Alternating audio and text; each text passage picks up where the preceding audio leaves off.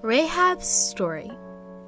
Rahab was a Canaanite woman living in Jericho, yet she showed remarkable faith in Yahuwah.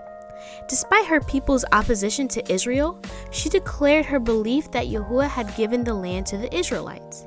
She told the spies, I know that Yahuwah has given you the land, which is found in Joshua 2 9, and recounted how the people of Jericho feared Israel because of Yahuwah's mighty acts.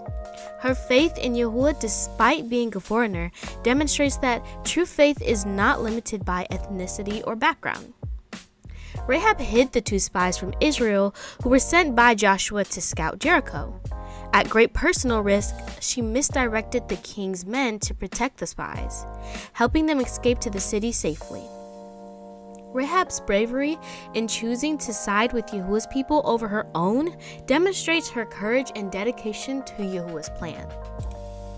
This act of faith showed her willingness to trust Yahuwah more than the power of her own city. Rahab asked the spies to spare her and her family when Israel conquered Jericho, saying, Give me a sure sign that you will spare the lives of my father and mother, my brothers and sisters which is found in Joshua 2 12 13. The spies agreed, instructing her to tie a scarlet cord in her window as a signal of protection.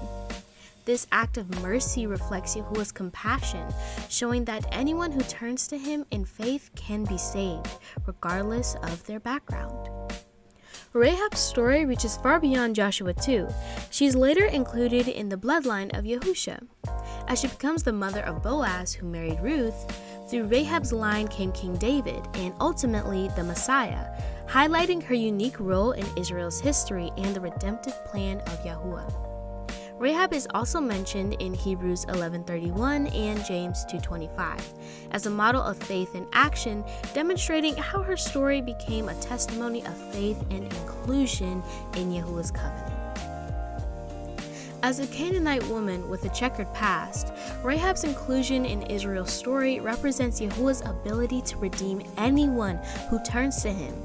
Her story shows that Yahuwah promises and extends to all who believe, not just those who are born into Israel. Rahab's transformation from an outsider to a pivotal figure in Israel's story underscores that Yahuwah's love and mercy is available to all who seek him.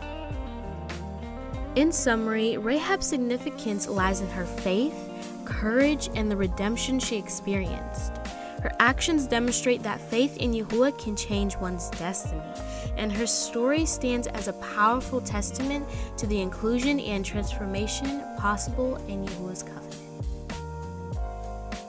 And that's Rahab's story. Thank you for joining me today, and I hope you learned something new.